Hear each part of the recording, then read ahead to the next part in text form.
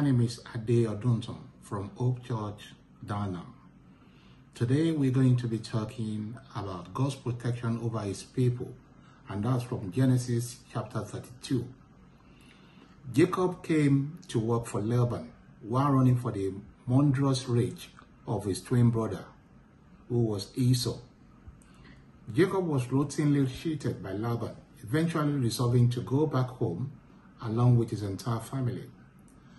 Unfortunately, this means coming back to face the same man Esau. Jacob soon learns that each Esau is headed his way with about 400 men. And then what he was thinking of was, was he coming to kill me in revenge for the deceit in stealing Isaac's blessings 20 years earlier? So Jacob was afraid as a result of that. So he divided his large company into two camps. And before he did that, he prayed earnestly to God for deliverance.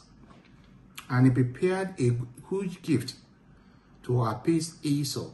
Finally, alone in the dark, he physically grappled with a mistress man who turned out to be God himself in some form.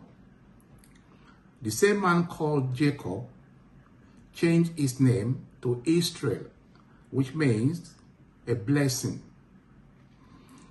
Jacob met with God face to face. This encounter he had with God was very, very unique.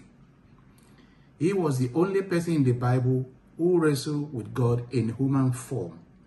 The event had a unique place in God's master plan of salvation and the history of God's chosen people, Israel.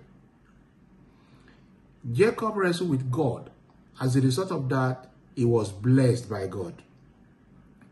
And sometimes, if we want God to bless us, we need to wrestle with Him.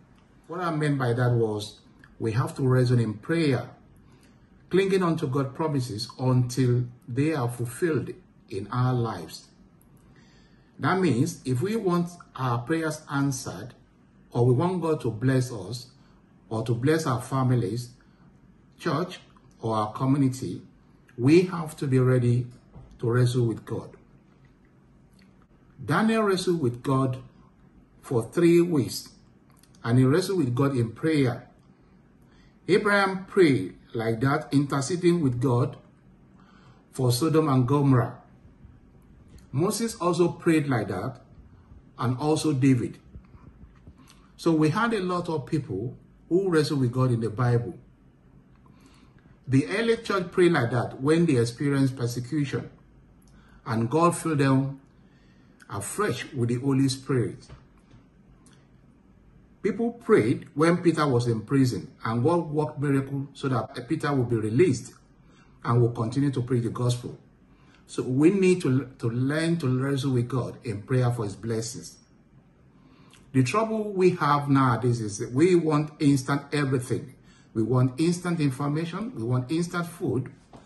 We are used to picking up our phone or going online and having anything we can imagine delivered to our door. In this age of instant everything, a lot of people have forgotten what is it to work for things or to make time to make things with our hands. Today's world, we expect instant blessings. The reality is that we want God to bless us. We, work, we have to fight for it. If we want God to bless us, we have to fight for it. We have to really want it and be prepared to work for it. The same thing that Jacob did when he wrestled with God. So above all, we have to devote ourselves to seeking God's blessing. And when we've done that, we've got everything. When you prevail with God through his prevailing over you, he will take care of your problems and the enemies as well. So we need, we need to make sure we get very close to God. This was truly a defining moment in Jacob's life. His struggle with God helped him to prevail over himself.